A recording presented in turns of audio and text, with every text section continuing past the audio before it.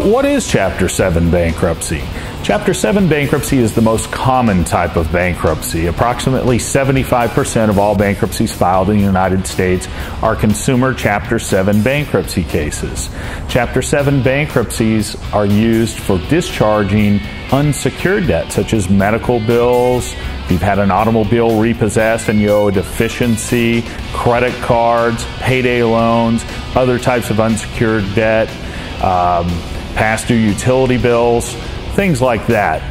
It generally does not affect secured debt such as car loans or home loans, so you can keep your car and home if you decide to file for Chapter 7 bankruptcy. You just need to continue to pay them. Also, other debts such as child support, alimony, and back taxes are not discharged or wiped out in Chapter 7 bankruptcy.